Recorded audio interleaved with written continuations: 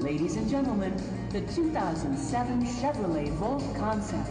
It was the talk of this year's Detroit Auto Show, the next generation electric car. Not a hybrid, but a plug in electric concept car capable of running 40 miles on its initial charge, then recharging itself as it moved down the road.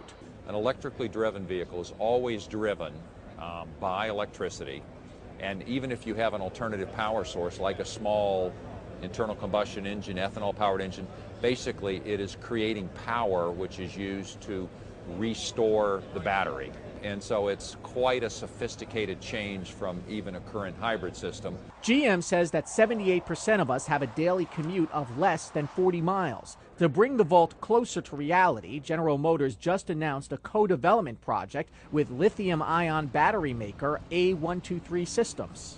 The Chevy Volt is essentially uh, made possible by the improvements in the battery technology. Lithium ion batteries are used uh, right now in laptops and cell phones. And uh, uh, people are used to uh, very long run times that they get out of those particular devices.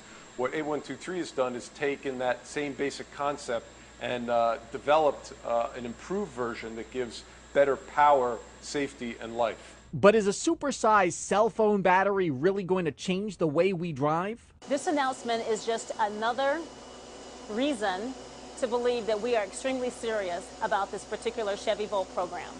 We've got a number of people in place here at General Motors. We've got suppliers in place. We've got additional development in place in order to bring this to fruition. GM says their goal is to have the Volt on the road by 2010 if the battery is ready. If they can do it, filling up for your commute may soon be a thing of the past. I'm Andrew Schmertz.